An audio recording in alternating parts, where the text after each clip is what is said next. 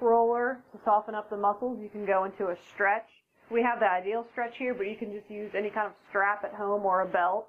Just hook it over your foot, bring your leg up with your other leg straight down on the floor, and keep your knee straight. You'll bring your leg up till you feel a pull in the back of your thigh, and you should probably hold that for about 30 seconds to one minute, and you can do three repetitions of that.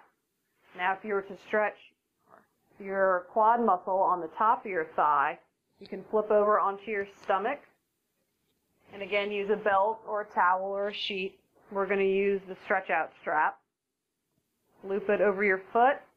And you can hold the strap over your shoulder and pull your foot towards your backside. And you should feel a stretch in the front of your thigh. And whenever you do this, it's important to keep your tummy tight so you don't let your back arch and put too much pressure through your low back. And again, you can hold this for a minute to 30 seconds and do three repetitions.